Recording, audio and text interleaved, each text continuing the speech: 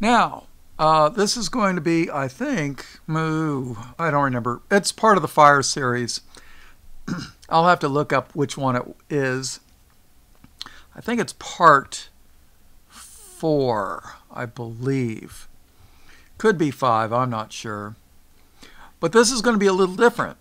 Instead of fire being a bad thing for the wicked and the unbelievers, this is going to be fire as a good thing for believers.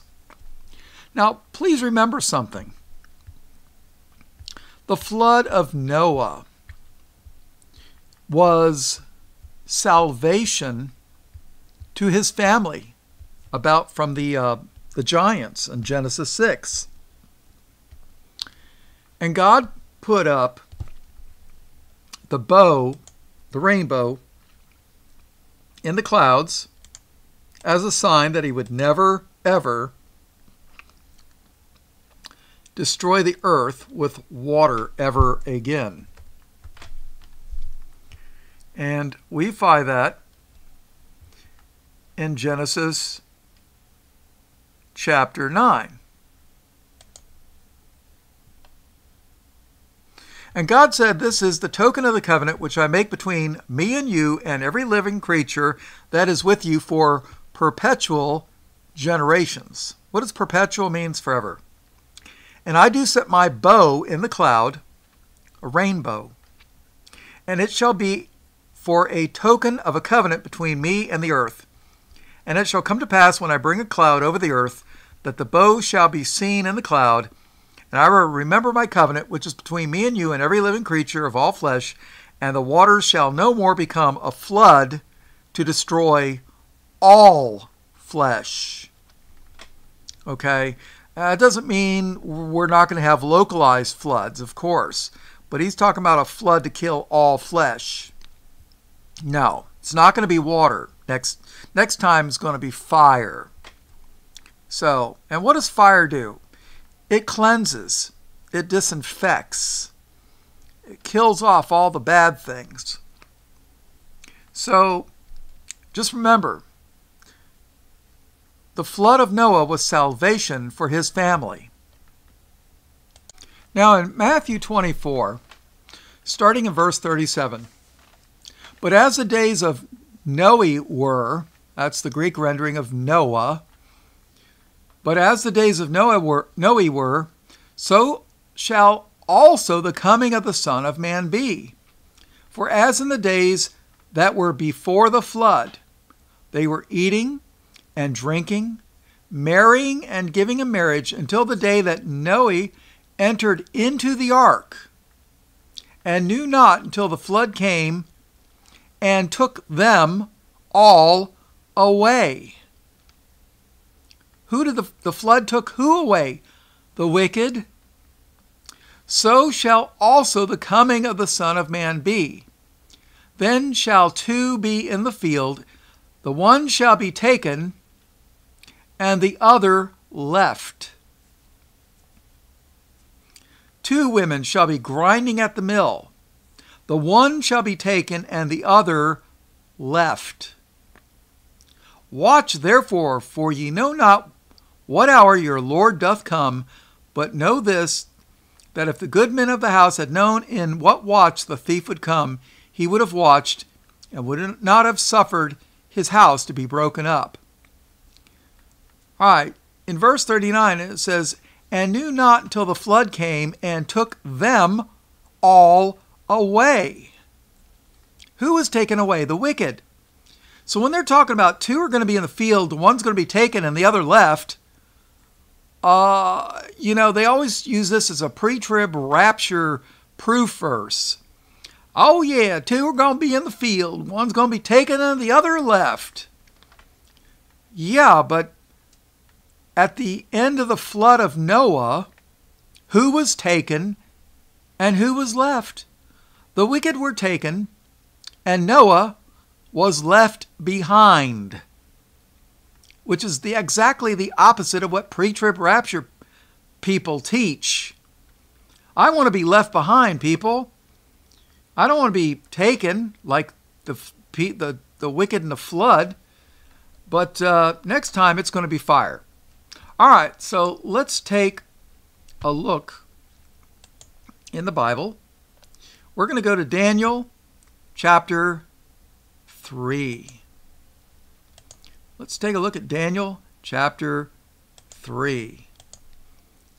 We're going to read, start at verse 1. Now remember, Nebuchadnezzar, now if you've never read the book of Daniel, uh, I don't want to make this a huge Bible study. I mean, the entire book of Daniel is worth, well worth reading. Daniel had a dream.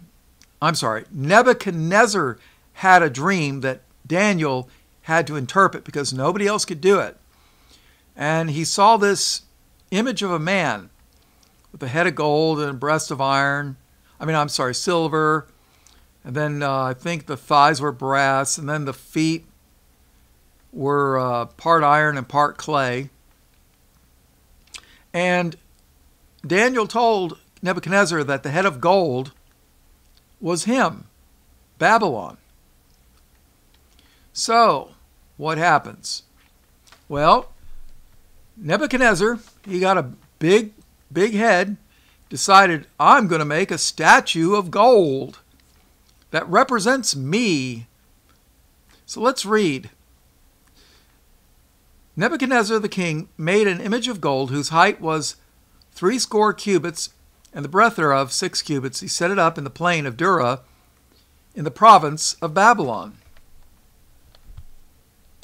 You know what? Maybe we should read Daniel chapter 2. Let's go to Daniel chapter 2. Turn the page. Verse 1 And in the second year of the reign of Nebuchadnezzar, Nebuchadnezzar dreamed dreams, wherewith his spirit was troubled, and his sleep brake from him. Then the king commanded to call the magicians, and the astrologers, and the sorcerers, and the Chaldeans, for to show the king his dreams. So they came and stood before the king, and the king said unto them, I have dreamed a dream, and my spirit was troubled to know the dream. Then spake the Chaldeans to the king in Syriac,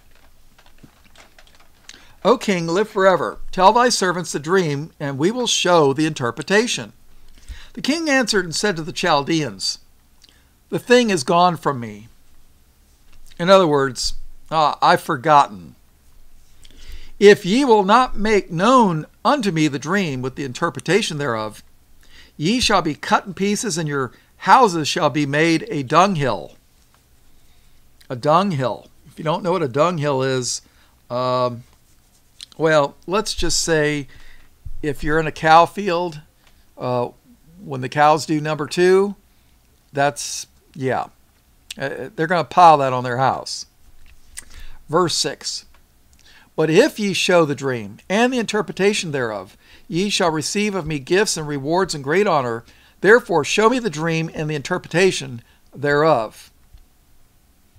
They answered again and said, Let the king tell his servants the dream, and we will show the interpretation of it. The king answered and said, I know of certainty that ye would gain the time, because ye see the thing is gone from me. But if ye will not make known unto me the dream, there is but one decree for you for ye have prepared lying and corrupt words to speak before me till the time be changed. Therefore, tell me the dream, and I will know.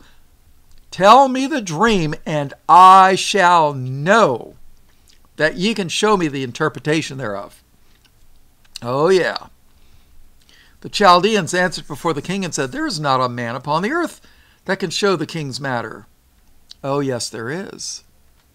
Therefore there is no king, lord, nor ruler that asketh such things at any magician, or astrologer, or Chaldean.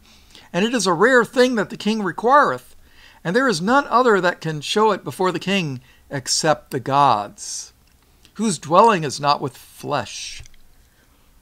For this cause the king was angry and very furious, and commanded to destroy, commanded to destroy all the wise men of Babylon and the decree, decree went forth that the wise men should be slain, and they sought Daniel and his fellows to be slain.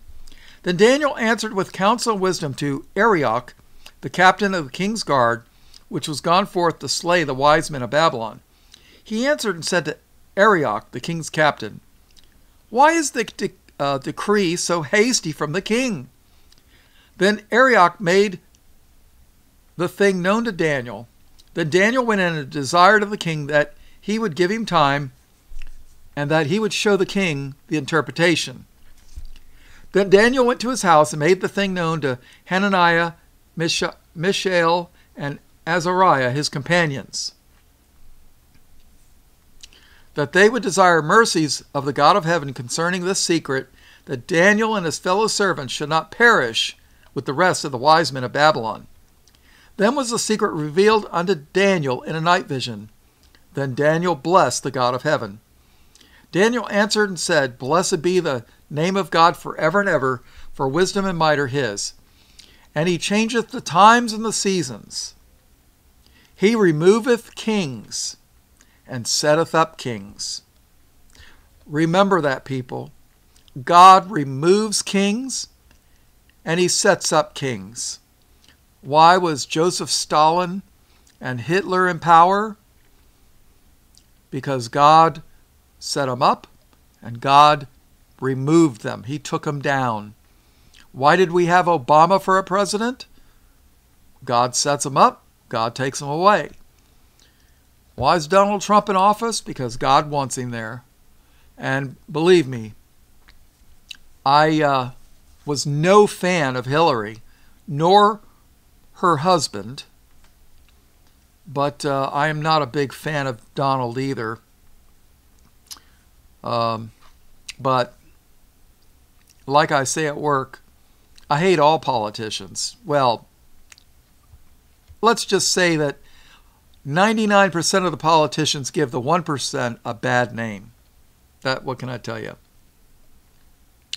And he, God, and he changeth the times and the seasons. He removeth kings and setteth up kings. He giveth wisdom unto the wise and knowledge to them that know understanding. He revealeth the deep and secret things. He knoweth what is in the darkness, and the light dwelleth with him.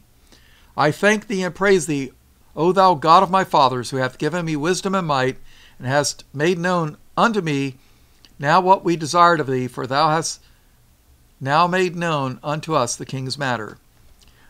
Therefore Daniel went in unto Arioch, whom the king had ordained to destroy the wise men of Babylon. He went in and said thus unto him, Destroy not the wise men of Babylon. Bring me in before the king, and I will show unto the king the interpretation.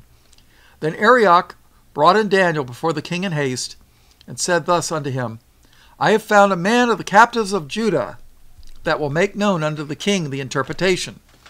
The king answered and said to Daniel, whose name was Belteshazzar, Art thou able to make known unto me the dream which I have seen, and the interpretation thereof?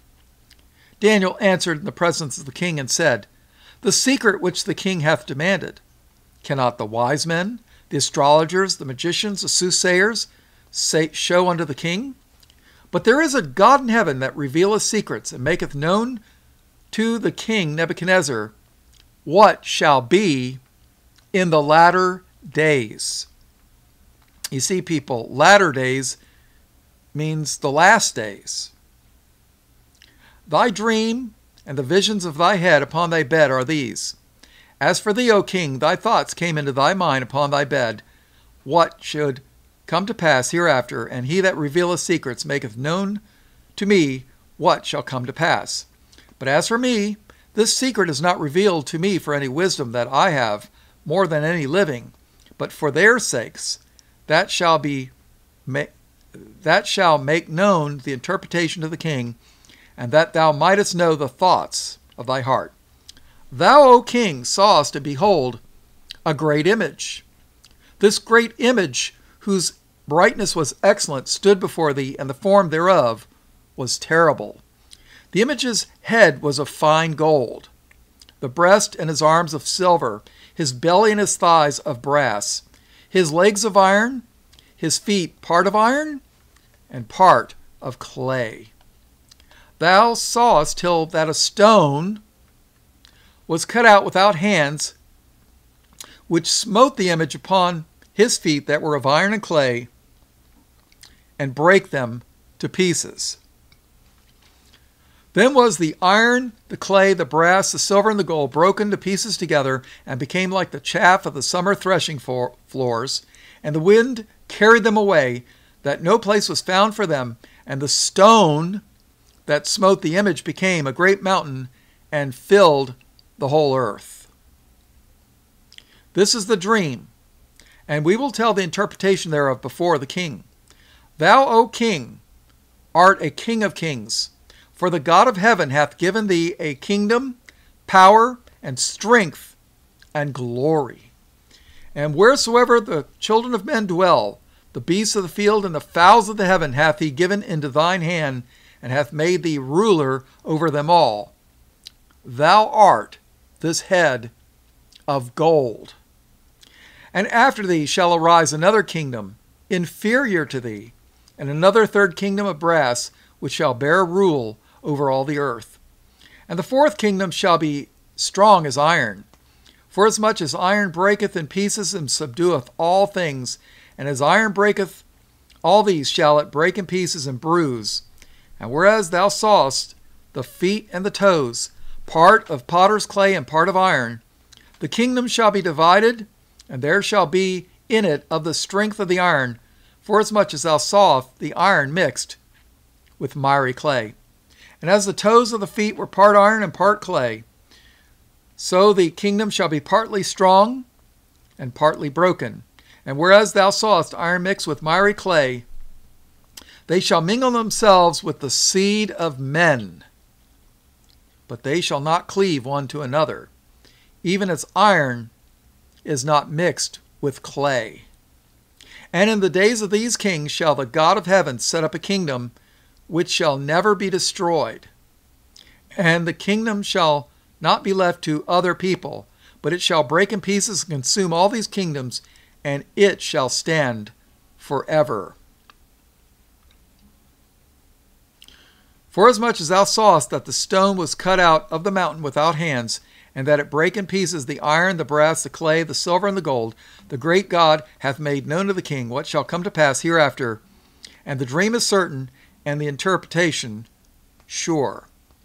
Now, what is the stone that's going to uh, destroy the image? Well, the interpretation of that is in 1 Peter chapter 2. Matter of fact, we read that, uh, verse 5. Ye also, as lively stones, are built up a spiritual house and holy priesthood to offer up spiritual sacrifices acceptable, acceptable to God by Jesus Christ. Wherefore also it is contained in the Scripture Behold, I lay in Sion a chief cornerstone, elect, precious, and he that believeth on him shall not be confounded. Now, it's obviously talking about Christ.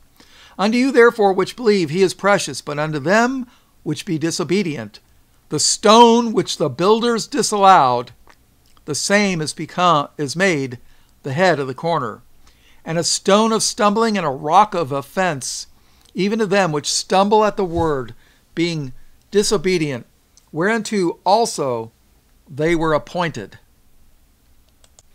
In 1 Corinthians, Paul is talking to the Greeks in Corinth, a Greek city. In Greece, listen to what he says. 1 Corinthians chapter 10 verse 1.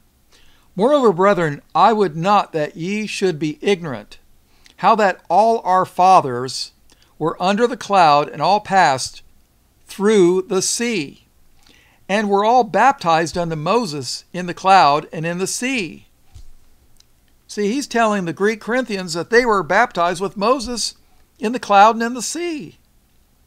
Huh. Verse 3 And did all eat the same spiritual meat and did all drink the same spiritual drink, for they drank of that spiritual rock that followed them, and that rock was Christ. See, people, that rock that smotes the image, that takes over, that's going to be Christ in his kingdom. So, uh, let's see. Let's go back to Daniel 3. Verse 44 And in the days of these kings shall the God of heaven set up a kingdom which shall never be destroyed, and the kingdom shall not be left to other people, but it shall break in pieces and consume all these kingdoms, and it should it shall stand forever.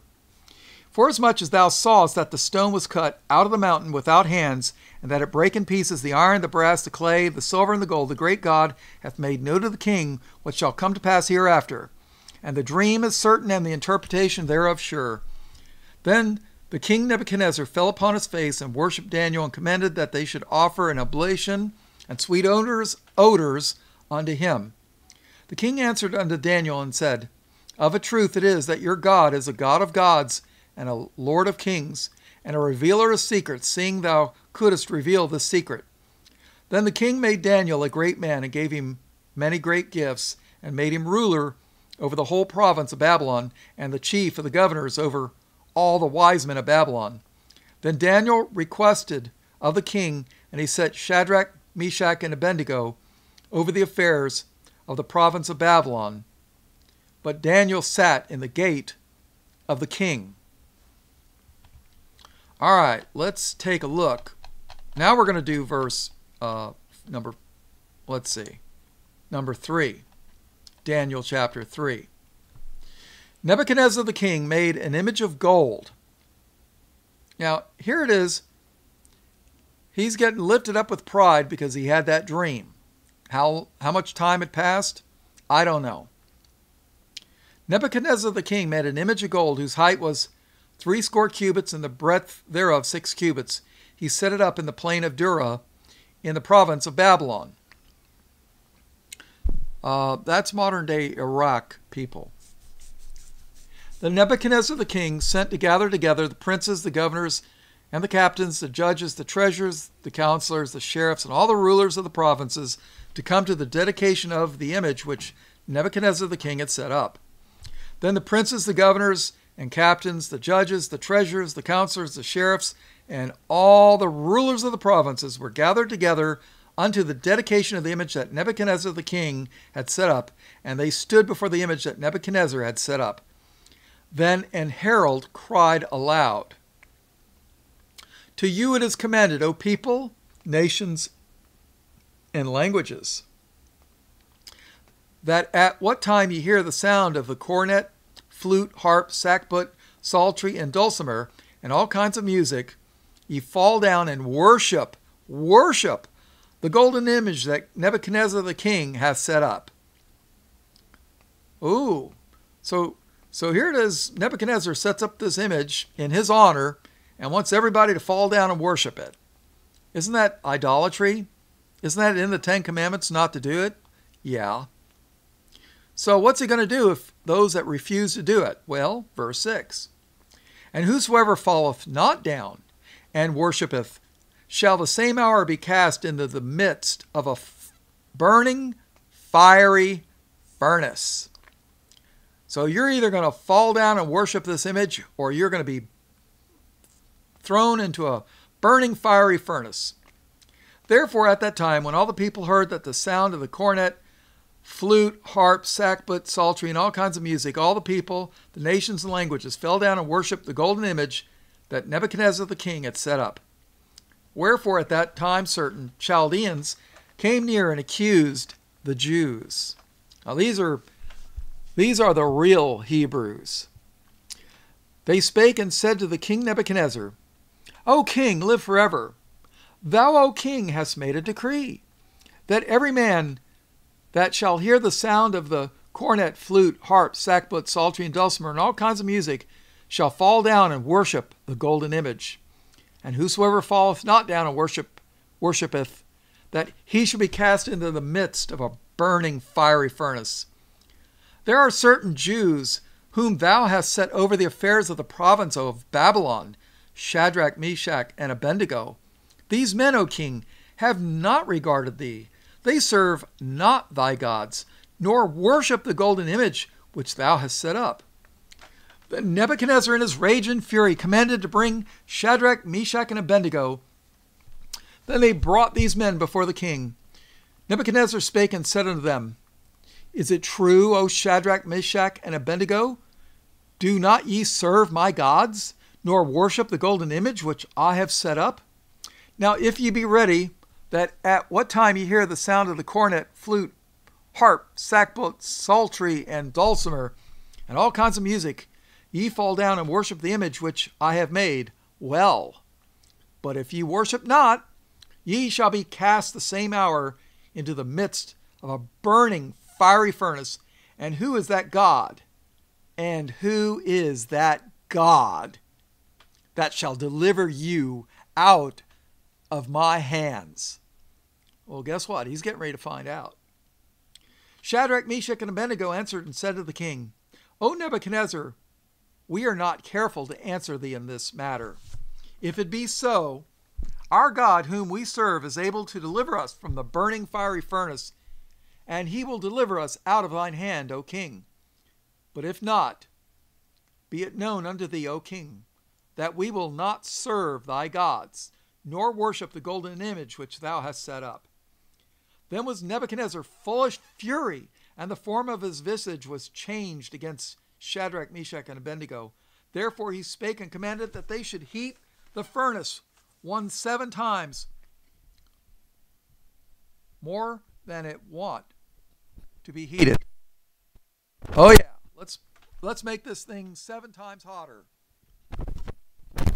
All right, so and he commanded the most mighty men that were in his army to bind Shadrach, Meshach, and Abednego, and to cast them into the burning fiery furnace. Then these men were bound in their coats, their hosen, and their hats, and their other garments, and were cast into the midst of the burning fiery furnace. Therefore, because the king's commandment was urgent and the furnace exceeding hot, the flame of the fire slew those men that took up Shadrach, Meshach, and Abednego. So here is the, the mighty men that bound these guys. They were killed by the fire. They were killed. Nebuchadnezzar's servants were killed. And these three men, Shadrach, Meshach, and Abednego, fell down bound in the midst of the burning fiery furnace. Then Nebuchadnezzar the king was astonished, and rose up in haste, and spake, and said unto his counselors, Did not we cast three men bound into the midst of the fire? They answered and said unto the king, True, O king. He answered and said, Lo, I see four men loose. Wait, wait a minute. We, we put three people in the fire. I see four. That's the Bob translation. He answered and said, Lo, I see four men loose, walking in the midst of the fire, and they have no hurt. And the form of the fourth is like the Son of God. Then Nebuchadnezzar came near to the mouth of the burning fiery furnace, and spake and said, Shadrach, Meshach, and Abednego, ye servants of the Most High God, come forth and come hither. Then Shadrach, Meshach, and Abednego came forth out of the midst of fire, and the princes, governors, and captains, and the king's counselors, being gathered together, saw these men upon whose bodies the fire had no power, nor was an hair of their head singed, neither were their coats changed, nor nor the smell of fire had passed on them. Then Nebuchadnezzar spake and said, Blessed be the God of Shadrach, Meshach, and Abednego, who hath sent his angel and delivered his servants that trusted in him, and have changed the king's word, and yielded their bodies, that they might not serve nor worship any God except their own God. Therefore I make a decree that every people, nation, and language which speak anything amiss against the God of Shadrach, Meshach, and Abednego shall be cut in pieces, and their houses shall be made a dunghill, because there is no other God that can deliver after this sort. Then the king promoted Shadrach, Meshach, and Abednego in the province of Babylon. You see, people, sometimes fire is a good thing.